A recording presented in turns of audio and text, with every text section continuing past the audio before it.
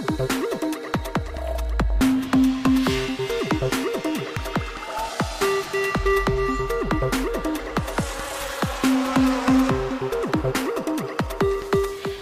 ¿qué tal? Mi nombre es Erika Moreno y estas son las noticias más relevantes del día en un minuto. El vicecoordinador de los diputados federales del PRI, Jorge Carlos Ramírez Marín, pidió hacer pública la carta que en vida escribió Juan Gabriel al presidente de la República, Enrique Peña Nieto.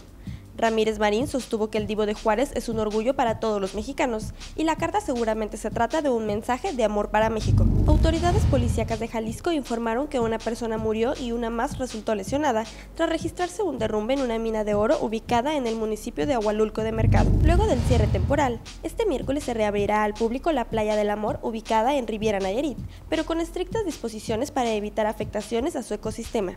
Las estancias serán de no más de 30 minutos, con un máximo de 116 personas al día, entre otras restricciones. Un fuerte choque entre un tren y un tráiler se suscitó este martes en Aguascalientes.